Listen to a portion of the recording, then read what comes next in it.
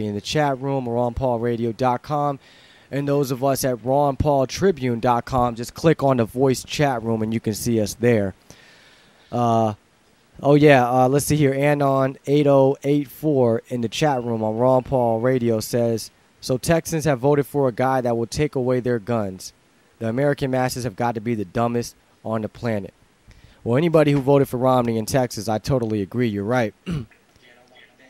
but I don't necessarily believe that they voted for Romney. And that's just me. I'm not trying to uh, be whine about it or cry about it and, and, and call fraud or we got cheated every single time. I'm not saying Ron Paul would win every every single state legitimately, but I do know one thing: there is no way a moderate from Massachusetts flip flopping Mitt Romney is going to beat Ron Paul in his own home state. It's crazy. It's why the media don't want to spend too much time talking about these things that don't add up because they know once they start digging into it that people watching TV are going to question themselves about these numbers because it, it's fishy. It doesn't make any sense how Ron Paul could lose to Mitt Romney in Texas. And like Anon just said, a guy that's going to take away your guns, that's what they want in Texas? Think not.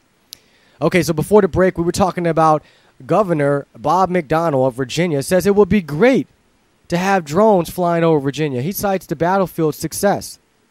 Okay? Uh, so I played the clip before the break, but it looks like it was a clip of the whole interview that he had, and I thought it was just the part about drones. So I uh, I don't know how long into the interview it is, so I'm just going to go off the article here. It says, "Police drones flying over Virginia would be great, and the right thing to do for the same reasons they are so effective in a battlefield environment." The state's chief executive said Tuesday. Of course, it's effective. We're just killing kids and blowing up buildings and innocent civilians, but it's great. Uh, let's see here. Bob McDonnell, a retired U.S. Army lieutenant, uh, lieutenant uh, said he, he is open to any technology that makes law enforcement more productive. The use of drones, which was recently endorsed by the police chiefs of Fairfax County and D.C., would make better use of valuable police resources. Increased safety and reduced manpower are among the reasons the U.S. military and intelligence community use drones on battlefield, which is why it should be considered in Virginia, he says. You hear that? increased safety and reduced manpower because you know there's a lot of men and military men that are not going to do the things that the drones will. Okay? You can't get a bunch of uh, uh, Americans to, to turn on Americans and arrest us and, and probably start shooting us and killing us out here in the American streets. So let's get some drone some drones so they can do it. We'll take care of the Middle East. We'll bomb people there, and we'll get the drone to do a U-turn, come right back to America, and do it right there to us. That's what's happening. It's all turning on us. Let's see. Quote, it's great, he said while speaking on WTOP's Ask the Governor program. If you're keeping police officers safe, making them more productive, and saving money, it's absolutely the right thing to do. No mention about the Constitution, no mention about our rights. You know, is it legal? A proposal to, to purchase drones hasn't yet reached his desk, he says, but state law enforcement agencies are looking for the most current ways to fight crime. Uh, let's see here. Quote, drone, uh, this is the sentiment was echoed last month by David Rohrer, chief of police for Fairfax County, one of the state's most affluent areas. Quote, drones will certainly have a purpose and a reason to be in this region in the next coming years, he told WTOP. Quote, just as a standpoint, as an alternative for spotting traffic and sending information back on our VDOT smart traffic centers and being able to observe backups. You know, so amazing. The government act like they care about our safety so much. We just care about you guys so much. We just care about the kids so much. We want to take care of everybody so much that we got to take your rights from you. You know? That we got officers that'll kill you, no gun on you, innocent, nothing happens to them. But but hey, we got to protect the police even more. We got to give them more power. DC Police Chief Cathy Lanier, a national security expert, told WTOP in early May that the use of drones is ideal for a sprawling county such as Fairfax. Let's see here. Unmanned aerial air- aircrafts were first proven in combat environments over Afghanistan and Iraq as a part of the military and CIA presence there. Police forces in Arizona first employed them domestically to help monitor illegal immigration and trade over the U.S. Mexican border. Okay, so you see, we're going to start with the drones in the Middle East, then we're going to start the drones on our border, and now we're going to start them inside the states of the United States. Next thing you know, they're going to be in your neighborhoods. You're going to walk outside, and you're going to accidentally you know, it's going to be like a bee flying around. Instead of bees flying around, you're going to see drones flying around. oh, man. Except the, dr- the drones ain't going to sting you, they going to shoot you. The Federal Aviation Administration released a list in April of agencies and organizations currently cleared to use drones, and I reported on this back in April, which includes Virginia Tech, Virginia Commonwealth University has been cleared, but its permit has expired. Drones over U.S. soil has turned some heads in Congress.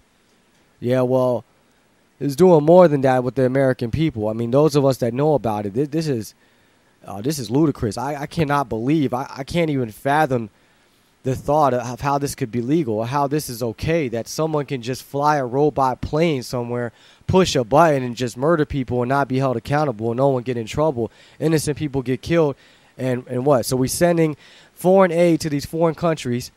Their people isn't getting the money. They aren't they aren't getting their rights. Their rights are being taken away, and they're being killed by our drones. Civilians, babies, kids, and we're not being it's not being reported really we're not being told about it. I don't see the faces and the names of these people that are being killed. So it's amazing. Uh, let's see. This is out at presstv.ir. NATO's death squads responsible for Hula massacre. Maybe we'll play this uh, this uh, interview later on in the show. Don't forget that I'm on at 3 p.m. Eastern Time every day uh, Monday through Friday, 10 to 12 noon Eastern Time, and 3 to 5 p.m. Eastern Time on RonPaulRadio.com. So yeah, we might. Uh, this is a little interview with the transcript, uh, interviewing Tarpley, and uh, how the West is behind the death squads and uh, Syria. and a lot of us can believe this. I'm not really surprised. We know that America wants regime change everywhere. We got to be in power, or, or else, you know, we got to come and take it over. It, it is really crazy. Uh, let's see here. What else do we have going on in the headlines? We might play that clip later. Uh, Pentagon. This is out of Russia today.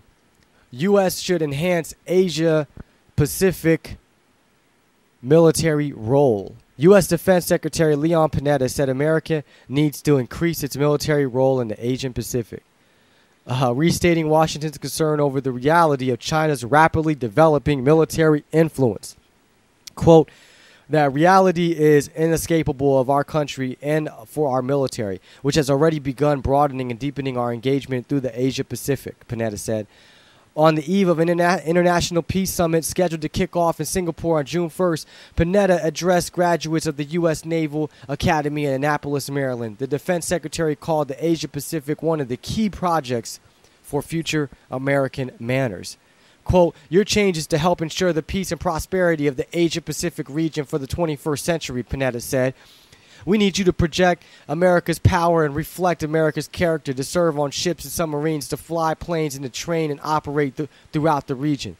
Panetta echoed Barack Obama's words at an Australian summit last November when the president announced plans to increase American military presence in the region by 2017. Obama called Asia Pacific a top priority, stressing that the U.S was here to stay.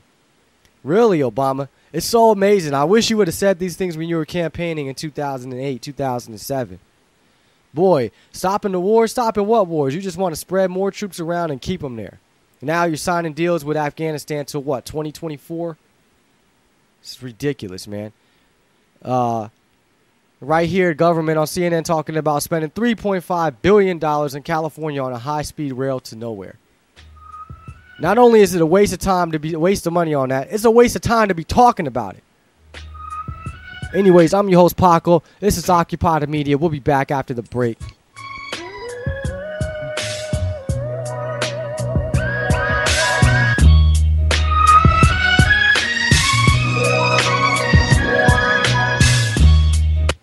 Hi, I'm Dane.